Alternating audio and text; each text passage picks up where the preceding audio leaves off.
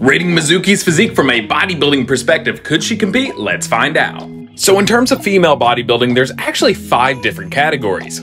You have physique, figure, women's bodybuilding, bikini, and fitness. And Mizuki would be in one of the smaller categories, probably the figure or fitness one.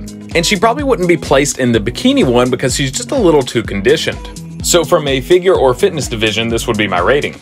I give her an 8 on muscle mass, a 10 on symmetry, and if you're enjoying this video, make sure to like and subscribe as it really helps out the channel. Now moving on to conditioning. I give her a 9 as we can see each individual muscle separation, and she's got damn good proportions. You can see her lats popping out with a small waist, thick thighs, and arms. I give her a 9 out of 10 on that as well, bringing Mizuki's grand total to a 36 out of 40, meaning that she could definitely be a competitor. Thanks to Bob's Productions for the recommendation. Let me know your thoughts in the comments down below.